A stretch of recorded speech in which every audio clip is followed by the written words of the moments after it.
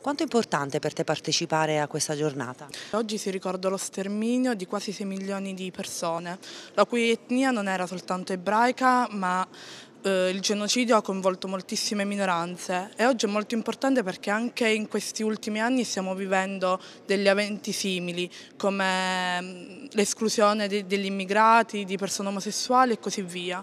Quindi oggi è molto importante per noi studenti appunto ricordare questi, questi eventi per non ripeterli e non cadere negli errori che sono stati dei nostri nonni. Cos'è la Shoah? Allora, la Shoah, come penso tutti sappiamo, è il purtroppo il genocidio che è stato fatto riguardo appunto al popolo ebreo e, ehm, e dobbiamo comunque sempre ricordare ciò che è stato fatto in modo da imparare dalla storia perché anche credendo di essere migliori purtroppo abbiamo visto con, anche con fatti recenti che non lo siamo e giornate come questa dovrebbero servire a ricordarci l'importanza del bene comune e comunque del rispetto per le altre popolazioni. Come vedi il coinvolgimento dei giovani di oggi? Gli altri studenti sono coinvolti soprattutto a livello scolastico, ovviamente che è la nostra realtà.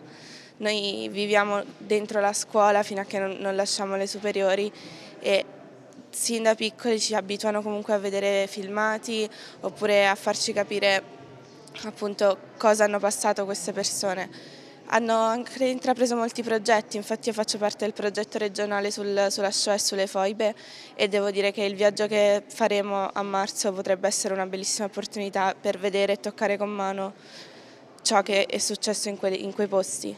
Quale istituto frequenti? Il liceo scientifico Filippo Masci di Chieti. Quanto è importante per te e per i tuoi compagni la giornata di oggi? Prima che studenti come cittadini è importante questa giornata per cercare di non ripetere quello che è successo, specie nel contesto internazionale di crisi che stiamo vivendo in questi mesi e altresì importante partire dalla, dalla solidarietà nei confronti dei, dei, nostri compagni che sono più esclusi per poi passare nell'età adulta a, a iniziative più importanti.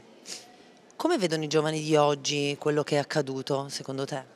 Beh, negli ultimi anni sicuramente stiamo assistendo, nonostante i numerosi progetti che ci vengono proposti, a una sorta di, di dimenticanza nei confronti di questo evento e c'è sicuramente un male.